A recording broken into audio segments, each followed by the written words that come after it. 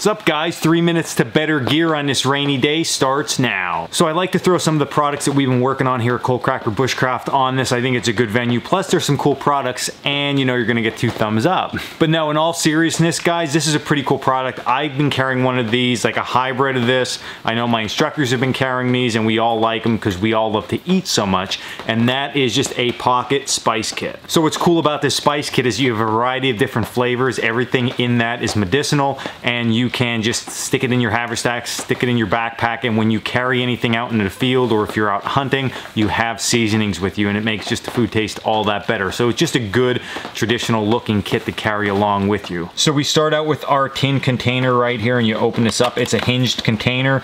We have our spices inside. They're in glass vials with cork tops. There's six different spices in here. We have black pepper, cayenne pepper, cinnamon, garlic, sage, and sea salt. And they're all listed up top here on the label so you know what everything is. It's a good overall pocket kit just to carry along with you